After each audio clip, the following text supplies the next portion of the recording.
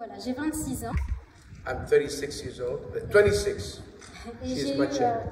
j'ai eu aussi le privilège de, de naître dans une famille chrétienne et donc d'aller à l'église depuis que, que je suis bébé.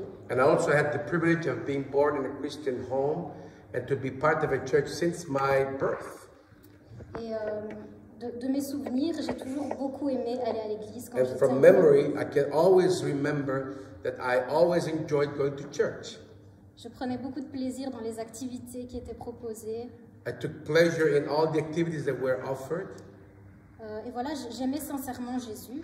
I, I was sincerely loving Jesus Euh, avec mon cœur d'enfant, je me souviens que je le priais tous les soirs. with a childlike faith. I was always praying and uh, calling on the name of Jesus.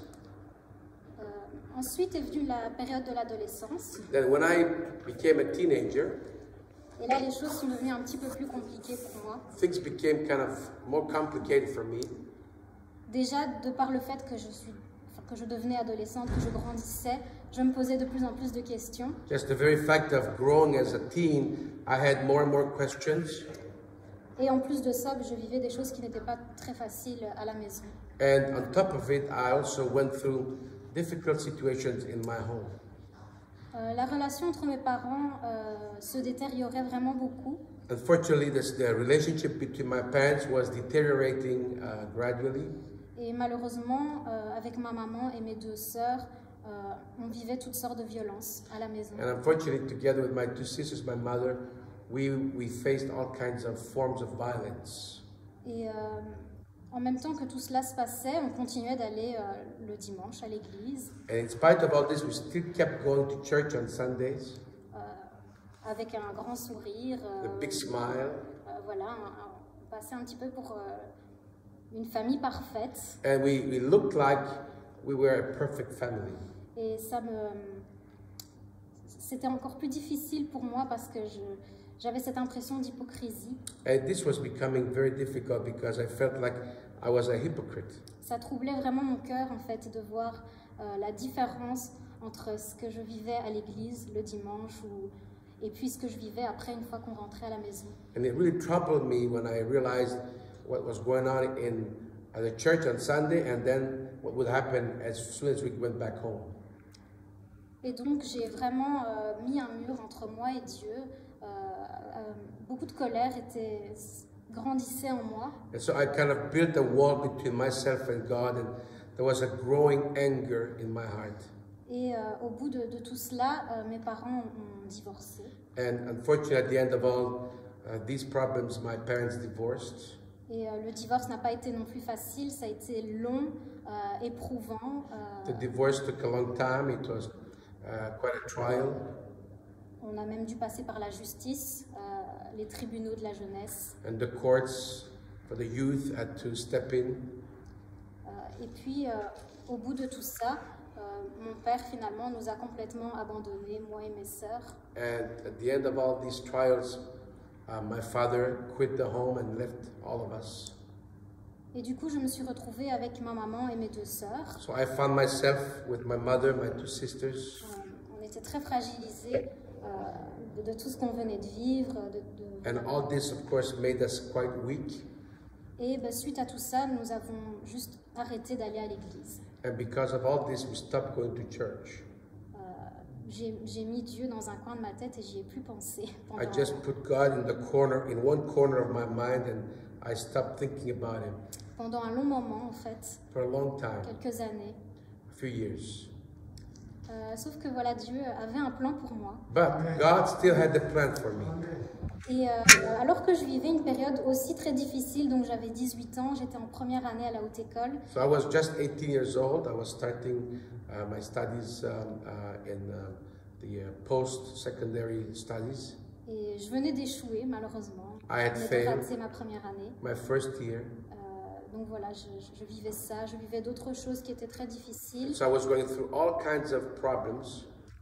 Et euh, je n'ai pas l'impression que je les recherchais, mais tout autour de moi, des, des événements, des personnes me ramenaient à Dieu.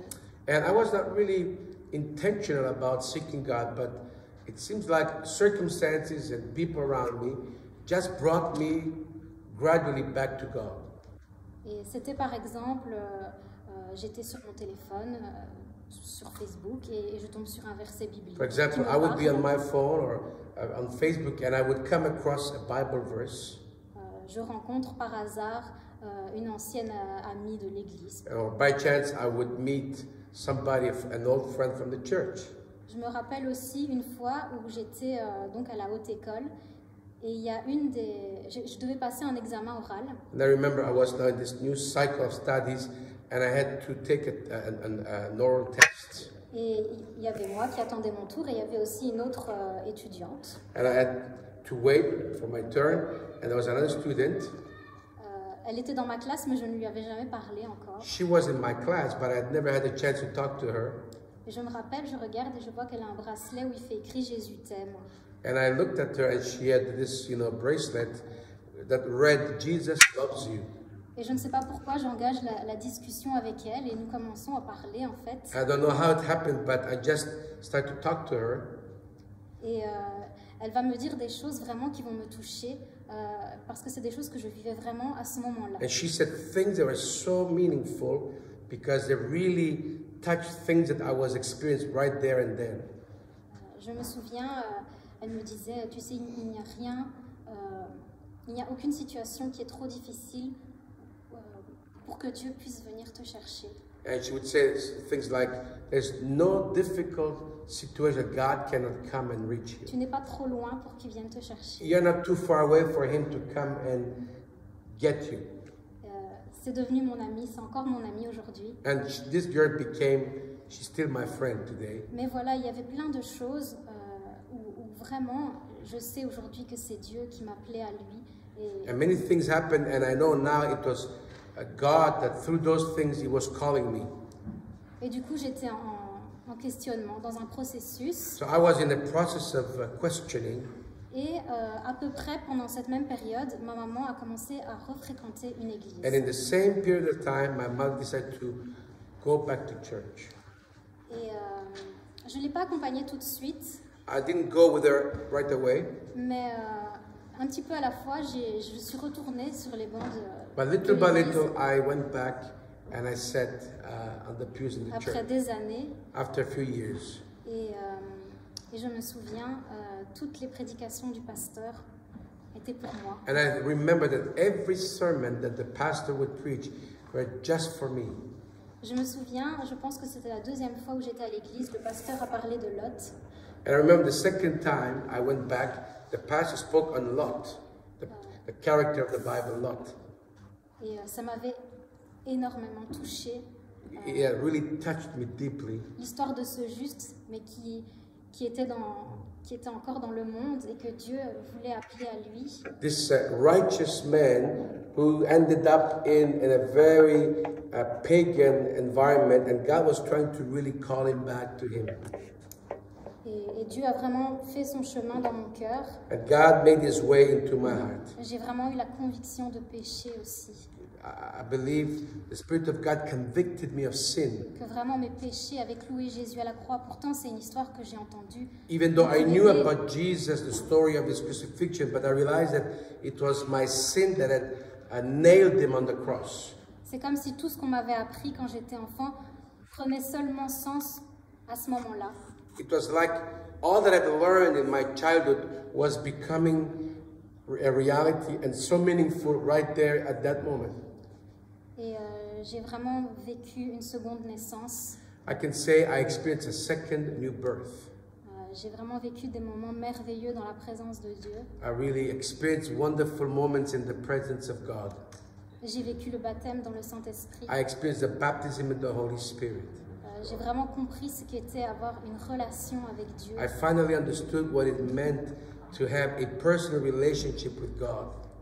Euh, et là, voilà, tous les gens autour de moi me disaient que j'étais transformée, And the people around me would say that they saw such a transformation in me. car avec tout ce que j'avais vécu, j'étais quelqu'un de très renfermé. euh, et, et là, vraiment, les gens voyaient cette transformation. And because through all the things that I'd experienced, I'd become very much reserved and kind of isolated. But now people could see the change. Et suite à ça, j'ai vraiment vécu une période où Dieu m'a infiniment bénie. And following this uh, rediscovery, I, I really experienced a- a- an amazing new season of blessing. Euh, j'ai mes études qui me semblaient être une montagne, For example, my studies that looked like a big mountain, que j'ai fini par réussir avec distinction, which I was able to uh, uh, complete very successfully.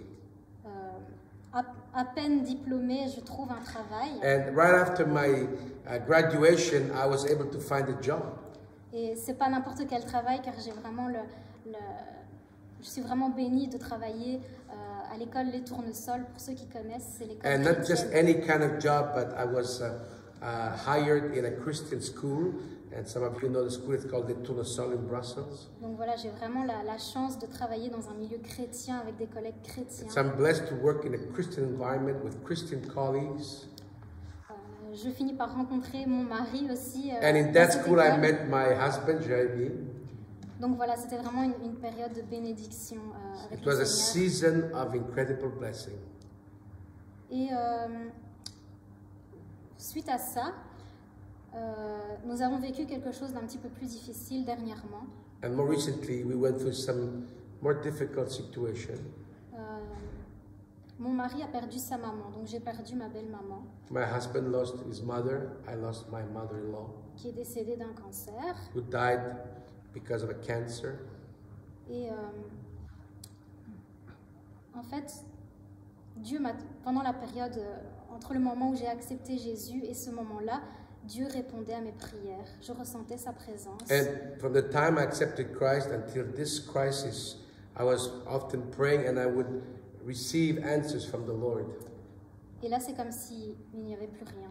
And during this trial, it seems like nothing was happening. Évidemment, il y avait ma négligence. Of course, there was neglect on my part.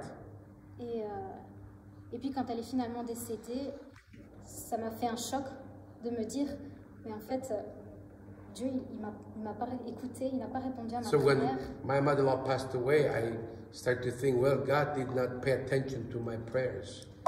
Et sans que je m'en rende vraiment compte, euh, une colère s'est quand même installée dans mon cœur. And somehow there was anger that was building up in my heart. Et quelques mois sont passés comme ça. And a few months went by.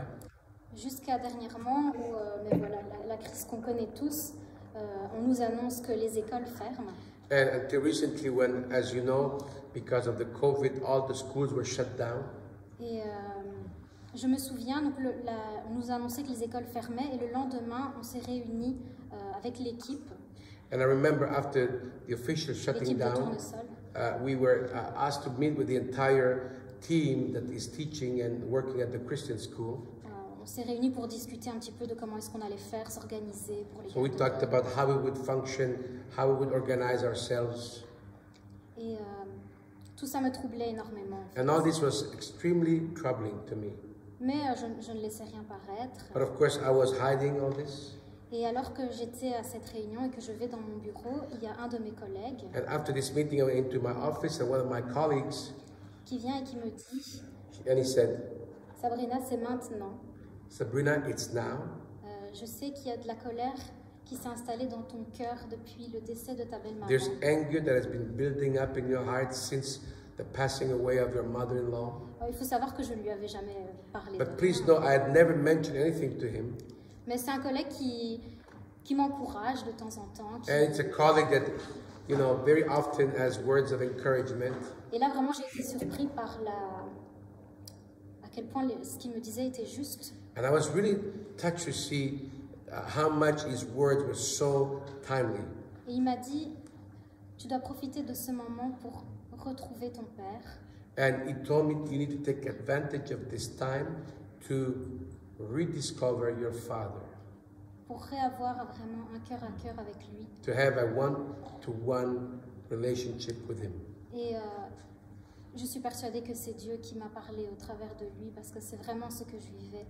And I, I know God used him to speak to me because exactly what I was going through. J'avais euh, j'avais quelque part perdu mon père Somehow I'd lost my father avec tous ces événements et ce qui s'était installé dans mon cœur. because of all the events and what had happened in my heart.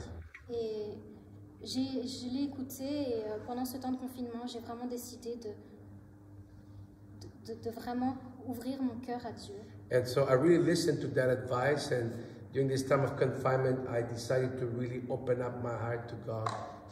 Et Dieu m'a vraiment parlé, m'a vraiment fait comprendre que euh, Dieu, ce n'est pas, euh, c'est pas une baguette magique. And so God really ministered to me, and I understood God is not like a magical, you know, staff. Il me suffit pas de prier et puis de voir mes prières s'exaucer. And it's not because you pray you're going to have automatic answers. Je pense que j'avais vraiment besoin de comprendre que Dieu est Dieu. I needed to understand that God is God. Sa volonté est sa volonté, même That si His elle n'est pas la will mienne. is not like my will. Et euh, je ne peux pas faire changer la volonté de Dieu. And I cannot alter God's will. Et Dieu m'a vraiment parlé à mon cœur en me disant oui, il, il va y avoir des moments difficiles, And God did speak to me and confirm um, that there would be difficult moments, mais la différence c'est que je serai toujours avec toi. but He reassured me this is a difference. I will always be with you. Et voilà, encore ici, euh, je remercie Dieu parce que alors que moi j'ai été infidèle, lui est resté And I fidèle. thank God because while I was unfaithful, He has remained faithful. Et je voudrais vous lire juste deux versets qui, que j'aime beaucoup. I'd like to read two verses that I really like very much. Le premier est dans Hébreu, The first one is in Hebrews, donc au chapitre 13, verse 13, verset 15. verse uh, 15. Donc chapitre 13, verset 15. Uh, chapter 13, verse 15. Je ne te délaisserai pas et je ne t'abandonnerai pas. Donc, euh, chapitre 12, 15. Hein? Euh, 13, 15. Oh, yeah. 13, 15. Je ne te délaisserai pas et je ne t'abandonnerai I will never leave you, never forsake you. Et un autre verset qui m'accompagne depuis le début euh, de ma vie chrétienne, c'est And dans, another verse that has been with me since the very beginning of my Christian walk, c'est dans Jérémie 29, 11. it's in Jeremiah 29, 11. Car je connais les projets que j'ai formés sur vous, dit l'Éternel. Projets de paix et non de malheur, afin de vous donner un avenir et de l'espérance. Yes. For I know the plans I have for you, declares the Lord. Plans to prosper you and not to harm you. Plans to give you hope and a future. Voilà, soyez bénis. Be blessed. Amen. Praise